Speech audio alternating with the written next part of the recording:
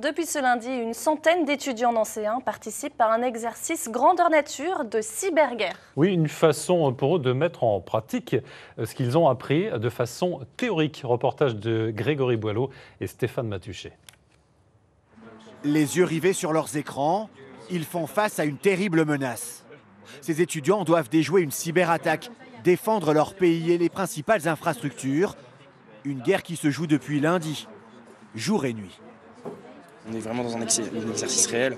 En plus, le fait que ce soit sur euh, trois jours, quasiment à temps plein, en ayant très peu dormi cette nuit, ça permet vraiment de, rentrer dans le, projet et de vraiment se décaler du côté scolaire.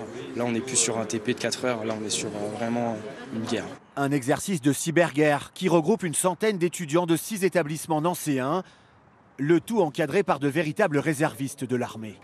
Dans ce scénario fictif, deux pays imaginaires, le Cryptanga et la numérique, s'affrontent pour obtenir l'exploitation d'une île riche en ressources naturelles.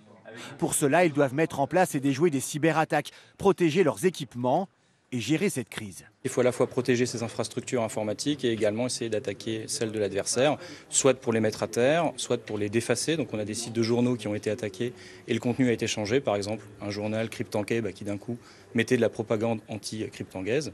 Là, on reproduit ça. également euh, de la lutte d'influence sur les réseaux sociaux.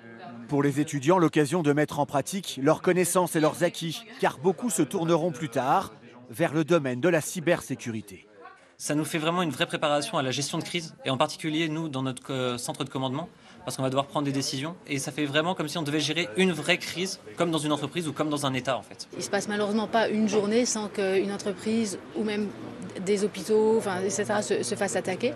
Donc je pense qu'il est de notre devoir du côté enseignant de les former à cette partie-là. Un an de préparation et plus de 50 personnes mobilisées pour cet exercice de cyberattaque unique en France.